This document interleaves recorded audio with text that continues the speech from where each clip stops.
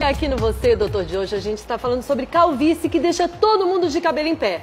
Quer dizer, ou não, né? ou não. ou não, né? O Márcio percebeu os primeiros sinais de calvície aos 20 anos. Você está com quantos anos agora? 28. Meu pai é calvo, o meu, meus dois irmãos também são.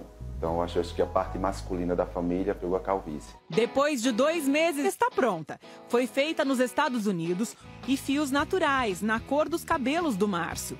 Existem células ali com potencial de produzir de novo o pelo e a partir daí que foi criado esse, esse estudo aí com um bom resultado. Eu tô impressionada, assim, e tenho que te dizer parabéns, porque já tá muito mais bonito mesmo. É, isso é verdade. Rejuvenesceu, como você esperava, né? Exato. Tá satisfeito com o resultado? Muito, muito satisfeito mesmo. Que bom. E agora, quando encontrar amigos ou parentes que vão dizer, nossa, Márcio, como você tá diferente, você vai dizer que aconteceu o quê aí? Ah, eu acordei desse jeito e mudei o penteado.